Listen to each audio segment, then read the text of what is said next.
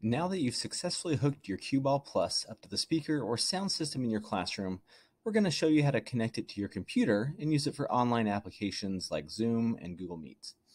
If you're still having issues connecting to your speakers, please refer to the setup instructions included with the Qball Plus or visit the I Need Help section on our website.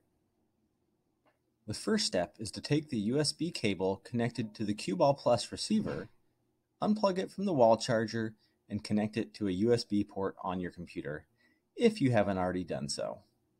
Now that you've connected the Qball Plus receiver to your Mac, we'll need to go into the sound settings and select it as your default microphone. First, you're going to go to System Preferences,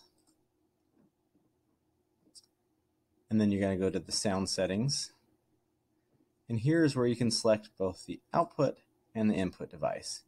So for input device, you're going to select the Qball, which is listed as Audio Win USB. And then you're going to go ahead and do the same thing for the output. Doing this will ensure that the Qball is your primary microphone and that any sounds playing on your computer will pass through the Qball plus receiver to your speakers or sound system. You're now free to use Skype, Zoom, Google Meet, or any other recording or transcription software, and the Qball will be the default microphone. If you have any other issues or problems, you can reach out to us directly at support at peeq.us.